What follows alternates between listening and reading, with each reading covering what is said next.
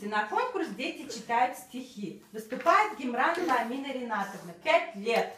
Маленькой ладошкой нарисую я, Как сильно я люблю тебя, Родина моя, Как дорог каждый листик и небо голубое.